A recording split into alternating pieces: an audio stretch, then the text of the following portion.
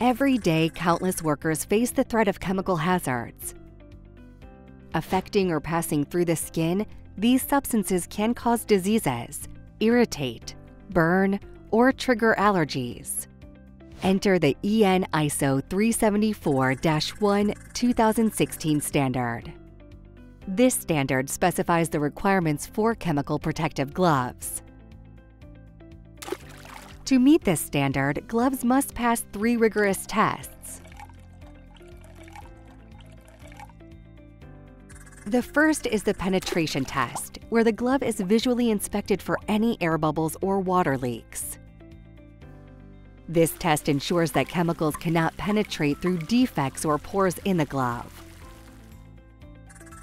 The second is the permeation test, this test measures the time for a chemical to pass through the glove material at molecular level in conditions equivalent to total immersion of the glove.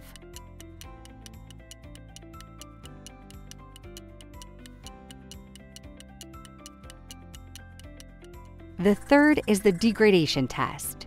A sample of the glove is put in contact with the chemical for one hour. This test checks for any physical transformation of the glove, such as swelling, hardening, or cracking. It is followed by a puncture test. It measures the difference between the force applied before and after testing the glove.